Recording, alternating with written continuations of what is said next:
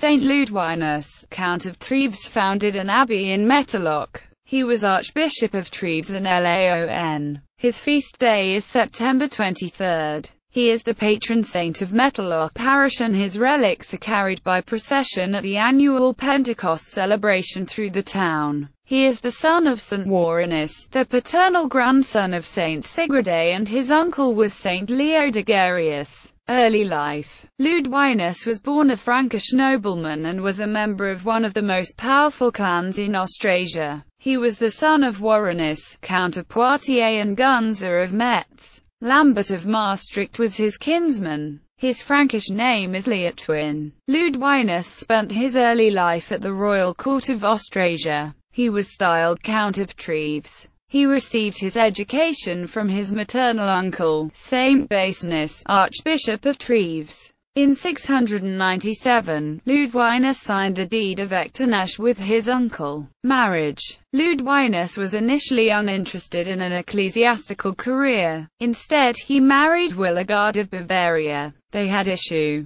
Milo, Count of Treves. Wido, Count of Hornbach. Chrotrude of Treves, who married Charles Martel and became Duchess of Austrasia. Mettlach Abbey According to legend, it all began when Leudwinus went hunting near Sarre. He grew tired and fell asleep under the shade of a tree. As he slept the sun changed positions exposing him to its scorching hot rays. An eagle swept down and sat on Leudwinus with its wings spread out. When Leudwinus awoke, his servant told him how the eagle had protected him from being burned by the sun. Coincidentally, Leudwinus happened to be napping at the site of the miracle eagle near the chapel of Saint Denis of Paris. Leudwinus saw this as a God-sent sign to establish a Benedictine monastery at that site. Dionysius the chapel soon developed into a Christian missionary center. In its place now stands the parish church of St. Gangolf in Mettlach. When Leudwinus became a widower, he joined the monastery he founded at Mettlach as a simple monk. Bishop of Triers in 697 Leudwinus was appointed coadjutor of his uncle Basinius von Trier. In 698, he co-founded the Echternach Abbey at Mettlach. When Archbishop Bastinus died on 4 March 705, Leudwinus succeeded him and was consecrated Archbishop of Treves. Leudwinus was also appointed Bishop of Laon.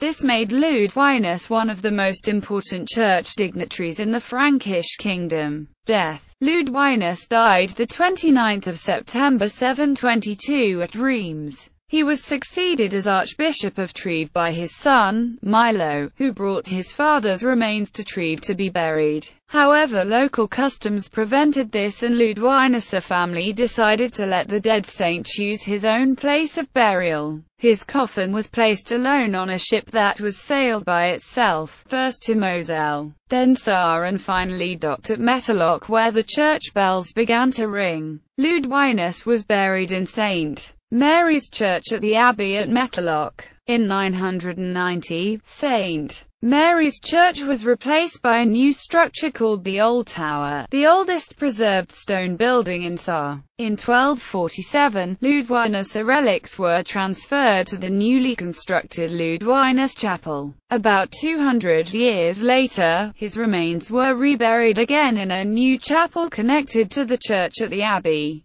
During the French Revolution, the monastery was purchased by the Bosch family. He had the building demolished and built Leotwinus Cathedral in Mettlach, where the relics of the saint are located today. Reports of miracles at Leudwinus' grave in Mettlach made it a popular pilgrimage site over the centuries. Records from Leudwinus' time as bishop are collected in the Gesta Treverorum. Feast day of Saint Leudwinus Leudwinus' original feast day was September 29, the day of his death. However, this is also the feast day of Saint Michael the Archangel. After the Second Vatican Council, the feast of Saint Leudwinus was moved to September 23 and it's also the feast of his uncle, Saint Basinius. Literature Georg Gresser History of the Diocese of Speyer to the end of the 11th century Quellen under Handlungens Ermittelrheinischen Kirchengeschichte Band 89. Mainz 1998. Georg Gresser. Leotwin. In. Church and Theology Lexicon. Band 6. Freiburg 1997, SP 1009. Andreas Heinz.